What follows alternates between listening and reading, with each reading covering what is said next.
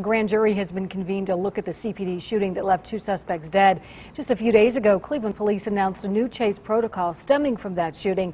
But it seems the investigation a year and a half later is still not finished. News Channel 5 Stephanie Ramirez is live at Heritage Middle School in East Cleveland, where Steph, authorities were out there again today. That's right, Tracy. This part of the parking lot here is where that deadly police chase and shooting came to an end in oh, actually November 29, 2012 was the date. But today, BCI was back out here again with the vehicles involved, recreating some of what happened that night.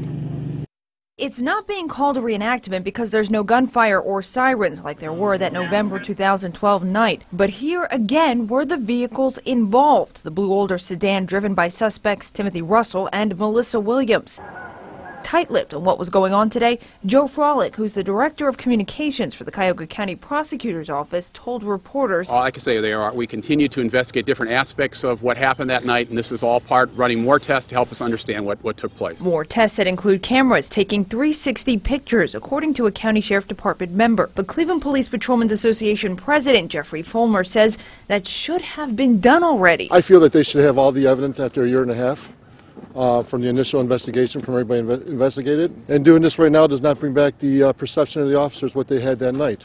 You know, there's no lights and sirens, there's no gunshots, uh, it's not dark.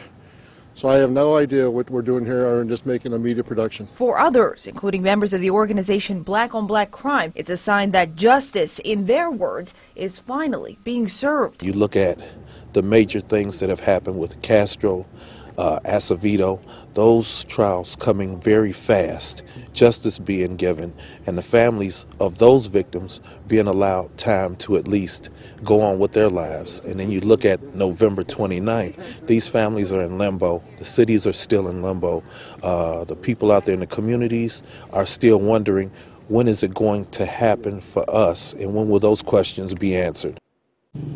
Now, Tracy, this was only expected to be a one-day thing, and the evidence collected and recorded here is expected to go to the grand jury. Now, this does come two days after police made that new chase policy announcement, but I was told this is not a direct result of that and had been planned months before. We're here in East Cleveland on your side. Stephanie Ramirez, News Channel 5.